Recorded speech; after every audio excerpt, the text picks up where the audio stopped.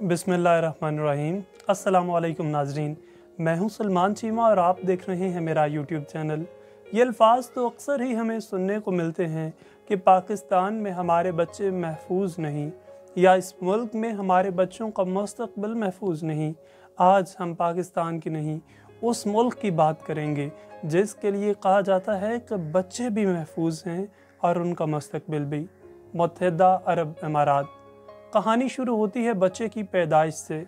कौन नहीं जानता कि पाकिस्तान में बच्चे की पैदाइश से लेकर अस्पताल से पैदाइश पर्ची बनवाने, यूनियन काउंसिल में नाम दर्ज करवाने और बर्थ सर्टिफिकेट्स बनवाने और फिर नादरा में निकाहनामे और शनाख्ती कार्ड ले जाकर बच्चों के बेफाम बनवाने तक किस कदर सरदर्द लगाने वाला और थका देने वाला प्रोसेस है।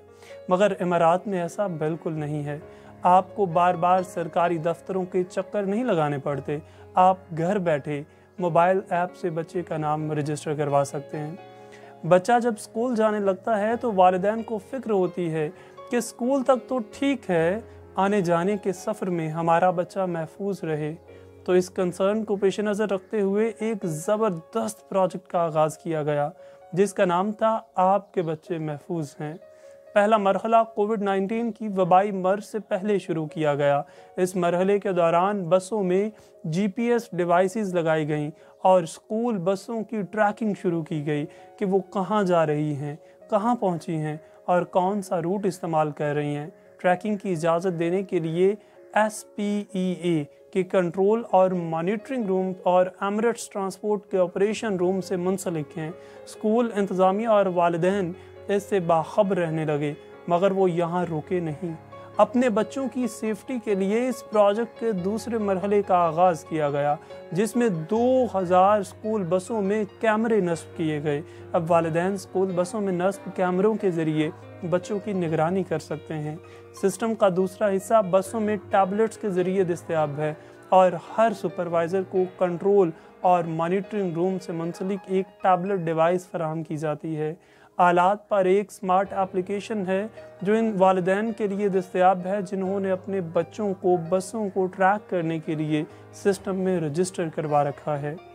फ़िलहाल कुछ स्कूलों से इस प्रोजेक्ट का आगाज़ किया गया है और दायरा तमाम स्कूलों तक बढ़ाया जा रहा है, जिसके लिए इमारात के तमाम निजी स्कूलों को एक सर्कुलर जारी कर दिया गया है कि वो मैारात के मुताबिक हफाजती आलात की तनसीब शुरू करें। हम देखते हैं कि पाकिस्तान में माजूर तालब इलमों को वालदेन किस मुश्किल से कंधों पर उठाकर और व्हील चेयर पर स्कूलों में छोड़ के आते हैं। और वहाँ भी अलहदा से कोई इंतज़ाम मौजूद नहीं है। यहाँ तक कि अलहदा वाशरूम और बेसन तक रसाई नहीं है। वो तालब इल्म जो माजूर हैं, उनके आने जाने के लिए अमारात में ख़ास इंतज़ाम किया जाता है। दुबई टैक्सी ने माजूर तालब इलमों के लिए स्कूल बस सर्विसेज़ को बढ़ाया है और नई बसों का आगाज़ किया गया है। इन बसों की गुंजाइश है कि इसमें चार तालब इम बैठ सकते हैं, जिसमें दो व्हील चेयर्स और दो बैठने की जगह हैं। रोड्स एंड ट्रांसपोर्ट अथॉरिटी की दुबई टैक्सी कारपोरेशन ने अपनी स्कूल बस सर्विसेज़ से मुस्तफ़ होने वाले माजूर लोगों के लिए अपनी खदमात को मज़ीद बढ़ाने का भी ऐलान किया है। अमृत स्कूल्स इस्टबलिशमेंट के ताउन से किए जाने वाले इस इकदाम का मकसद सरकारी स्कूलों में स्कूल बस सर्विसेज़ से मुस्तफ़ होने वालों की तादाद में इजाफ़ा करना है। तमाम असेसमेंट्स को क्लास टाइम के दौरान करवाया जा रहा है, ताकि तलीमी ख़तरात को कम किया जा सके। उन्हें यह डर था कि ऐसे टूल्स के इस्तेमाल से तलबा की तख्लीकी सलाहियत कम होगी, लिहाजा उन्होंने तलबा के लिए इसके इस्तेमाल पर पाबंदी लगा दी है। और फिर इन तमाम तर तालीमी पॉलिसियों और बर वक्त फ़ैसलों, उमदा निज़ाम तालीम का नतीजा ये निकलता है कि अमरीका, बरतानिया, कनाडा और इसराइल सर फहरिस्त चार ममालिक हैं जो मतदा अरब इमारात से सबसे ज़्यादा कारकुनों की खदमात हासिल कर रहे हैं। State of global hiring report के मुताबिक चार तरक्की याफ्ता मीशतों की कंपनियाँ जिनमें सबसे ज़्यादा मकबूल किरदारों की खदमात हासिल कर रही हैं, उनमें software engineers, product designers, front end developers, sales माहरीन और तजारती ठेकेदार शामिल हैं। मालियाती खदमात और मार्केटिंग से मतलब कंपनियाँ भी सबसे ज़्यादा मुतहदा अरब अमारात के कारकुनों को बोर्ड में ले रही हैं। अहम बात यह है कि सीनियर इंतज़ामी किरदार, जैसे कि इंतज़ामी शराकतदार और सी ई ओज़ ने भी चारों ममालिक में मकबूलियत हासिल करना शुरू कर दी है, क्योंकि रिमोट हायरिंग पर अतमाद बढ़ता जा रहा है कि किसी दूसरे मुल्क बैठे शख्स से अपनी कंपनी के लिए खदमात हासिल करना। इलमी मीशत पर मुतहदा अरब अमारात की गहरी तोज्जा बेहतरीन टैलेंट को रागब करना और क्रिप्टो करेंसीज़ ए आई और मेटावर्स जैसी नई टेक्नोलॉजीज़ को अपनाना मुल्क गैर मुल्की आजरों के लिए बेहतरीन और तजुर्बाकार टैलेंट से फ़ायदा उठाने के लिए एक पुरकशिश मार्केट बनाता है। मुकामी यूनिवर्सिटियों ने अली दर्जे की आलमी तालीमी इदारों के साथ इलाहाक किया हुआ है।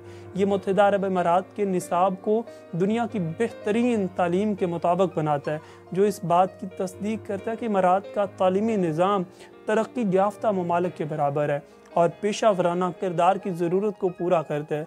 मालियात, तजारत, सफ़र और सियाहत और मेहमान नवाजी जैसे मुख्तलिफ़ शोबों के लिए मुतहदा अरब अमारात की हैसियत इस बात को भी यकीनी बनाती है कि मुकामी कारकुन हम पेशा वराना तौर पर मज़बूत, बासलाहियत और आलमी अहदों को आसानी से संभालने के अहल हैं।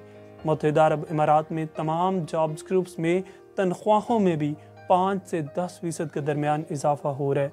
ना चाहते हुए भी हमें ये बात कबूल करना होगी कि इन ममालक की नस्बत हम बहुत पीछे हैं।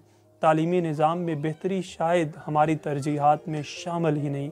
गुजरावाला, जो आबादी के लिहाज से पाकिस्तान का पाँचवा बड़ा शहर है, सनती लिहाज से पंजाब का तीसरा बड़ा शहर है। मुल्क की जीडीपी में पाँच फ़ीसद का हिस्सादार है। एक आध छोटे मोटे कैंपस तो मौजूद हैं, मगर कोई बाकायदा यूनिवर्सिटी ही मौजूद नहीं। और ये पंजाब जैसे सूबे की बात है। दूसरे सूबों के अजला में क्या सूरत हाल हो सकती है? इस चीज़ का अंदाज़ा लगाना कोई मुश्किल नहीं है। और जो तालब इम तालीम हासिल कर चुके हैं, उनके लिए रोज़गार का हसूल इतना मुश्किल बना दिया गया है कि सिर्फ़ पिछले साल के दौरान आठ लाख से जायद पढ़े लिखे लोग मुल्क छोड़ कर चले गए हैं। और इसे कहते हैं ब्रेन ड्रेन कि जहीन लोगों का मुल्क छोड़कर दूसरे मुल्क चले जाना। और वो मुल्क क्या खाक तरक्की करेगा जहाँ ब्रेन ड्रेन का सिलसिला ही ना रुक पा रहा हो? और इन पढ़े लिखे लोगों को दूसरे मुल्क में जाकर कोई बहुत अच्छी नौकरियाँ नहीं मिली, वो मजदूरियाँ कर रहे हैं। और ये लम्हा फ़िक्री है। हमें अपनी तरजीहत को बदलना होगा। तालीम और तालीमी निज़ाम बेहतर किए बग़ैर हम कभी भी तरक्की की राह पे गामजन नहीं हो सकते। अपना और अपने प्यारों का बहुत सा ख्याल रखिए। अल्लाह ने के बान